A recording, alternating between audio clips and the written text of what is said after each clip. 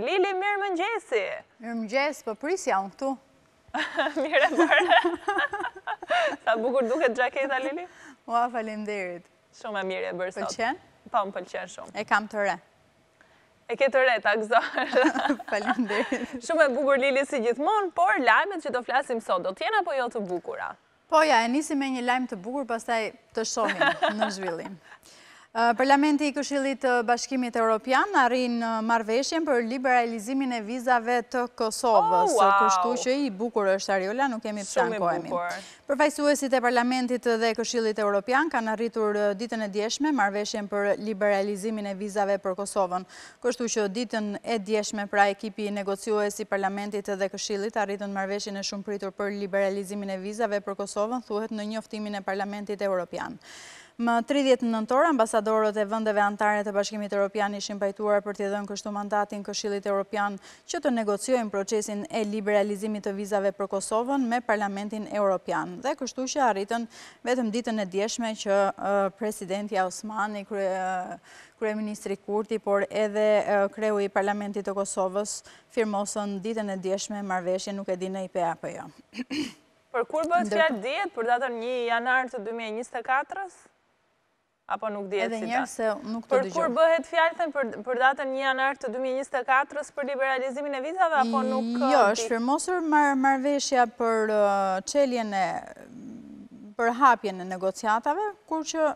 Nuk kemi një datë 30 nëntori, thotë ambasadorët, nuk po, kemi një datë fikse se si do të ecë më tej.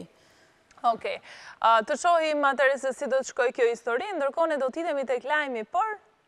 Do të hidhemi tek një lajm i hidhur, por që do i bie shkurt e shkurt, pasi nuk mund ta linim pa pa pa cekur ose pa prekur këtë lajm. Më i vogli në dyzet e tre të mbijetuarit ishte njëmbëdhjetë vjeçar.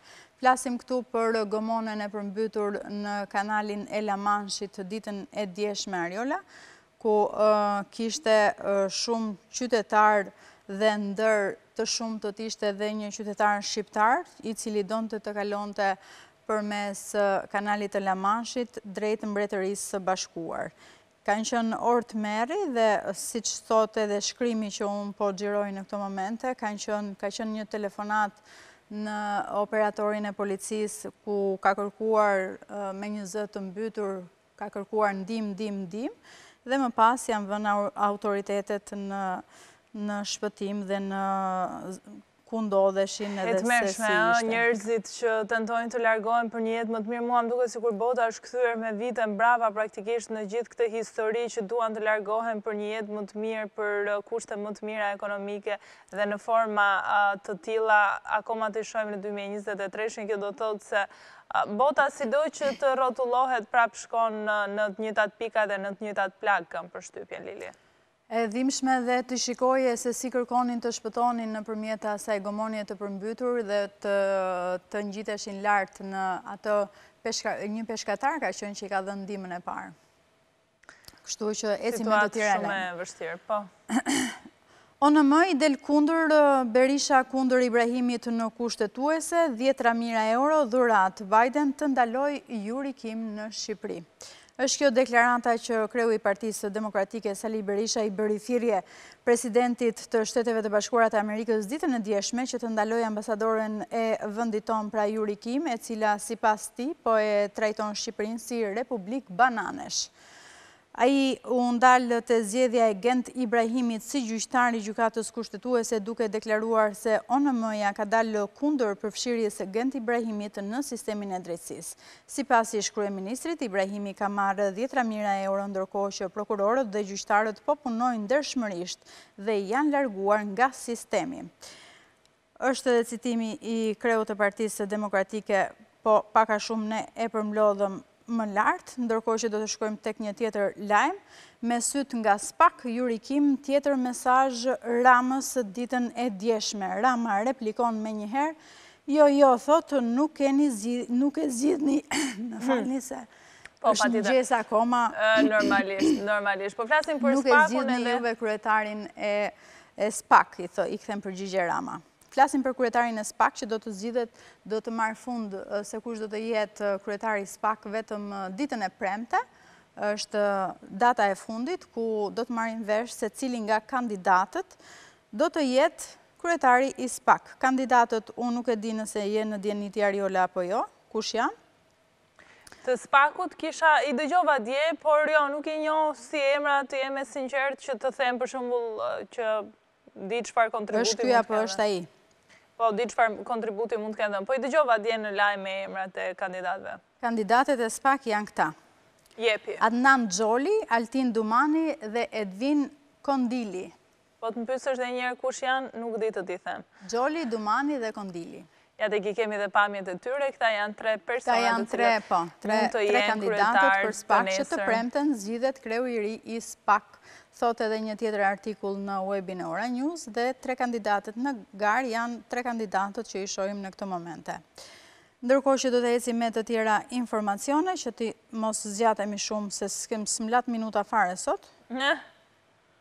Do të shkojmë tek lajmi që ka të bëjmë pikërisht me të dënuarit e rrugës Jordan Misja, asnjë investim nga bashkia e Tiranës, banorët akuza Veliajt. Pra, flasim për infrastrukturën rrugore dhe banorët në rrugën Jordan Misja festojnë dhe fajsojnë në fakt bashkinë e Tiranës për degradimin e rrugëve. Ata thonë se Veliaj nuk ka bërë asnjë investim në zonën e tyre duke i lënë ato si në mesjetë. Me thënë të drejtën, me kalu me çizme në ditën e sotme në rrugën Jordan Misja në në kryeqytet Ariola, Mund të të humbë çizmja. Ëë? Mund të të humbi çizmja. Mund të të humbë, thua ti? Blejmë tjetër, se ndoshta janë edhe më lirë, i marrim kështu. Janë gropa ato aq të thella, sa zhytet çizmja dhe zhduket. Po me thënë të drejtën në zhyna.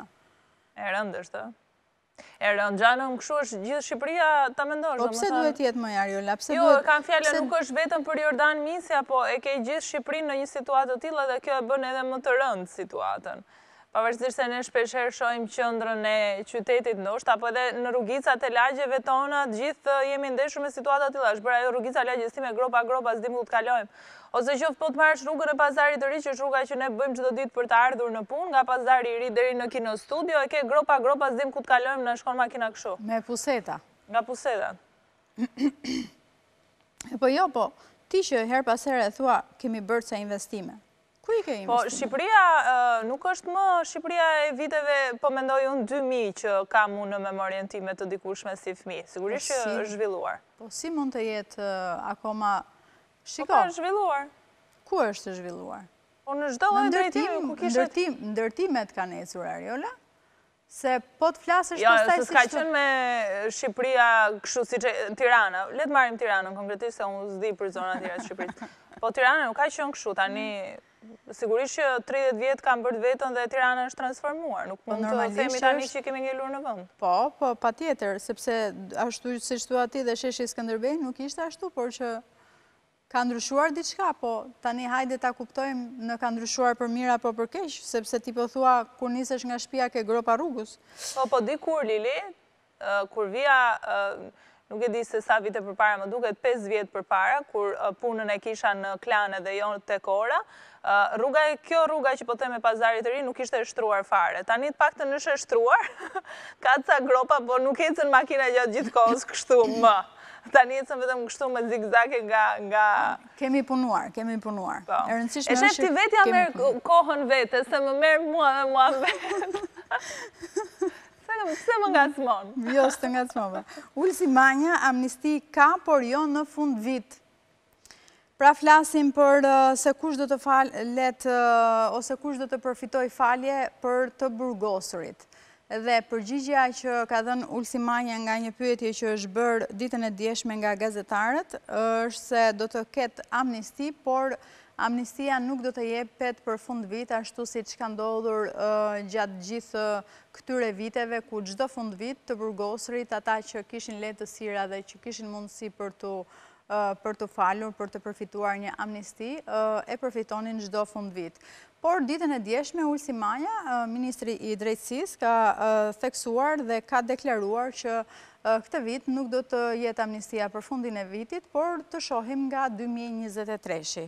A mendon ti se ky është një plan i mirëmenduar që Qeveria të bëjë amnisti për të burgosurit me për zgjedhjet e katërmbëdhjetë majit, Ariola? Unë mendoj që nuk duhet të jap një mendim, sepse pastaj humbim dhe ca minuta të tjera. Ora është shtatë e pesëdhjetë e nëntë, Lili. Ke qejf të rrish dhe pas publicitetit? Jo, unë them të ikim, s'kam fare, nuk i ha kohë reklamave dhe publicitetit që na mbajnë në transmetim. Jo, a ke qejf të rrish dhe pas publicitetit, të pyeta? A, po, jo, jo, jo, jo, se i ham kohë të ftuarve pastaj. Atëherë unë falenderoj shumë. Herë tjetër do i mendoj mirë mos të marr shumë lajme, do marr pak më pak lajme se e di që ju s'më lini shumë mirë. Pak ti, pak Anxhela, tre lajme kishte Anxhela sot, kështu që mos më lini vetëm këtu në program. Lili, të falenderoj shumë, të përshëndes. Çao, çao. Shihemi me Lilin në edicionin e orës nëntë, shihemi së bashku pas publicitetit.